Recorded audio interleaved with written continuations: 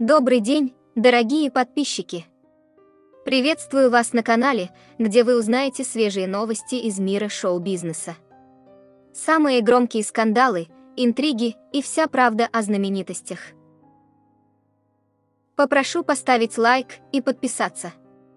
Блогер, телеведущая и певица Ольга Бузова потеряла голос перед сольным концертом в Москве.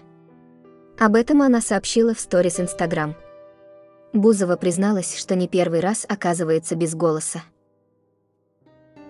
По ее словам, обычно это происходит из-за стресса.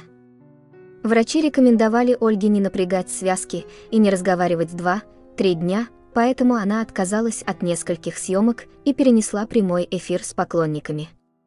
В противном случае я ставлю под угрозу концерт 28 октября в Кракусе, заявила Бузова. Ольге также пришлось отложить репетиции своего шоу, чтобы быстрее восстановиться и вернуться к работе. Мне голос нужен как никогда. Все делаю сейчас для того, чтобы он скорее вернулся, призналась телеведущая. Спасибо за просмотр. Попрошу поставить лайк и подписаться.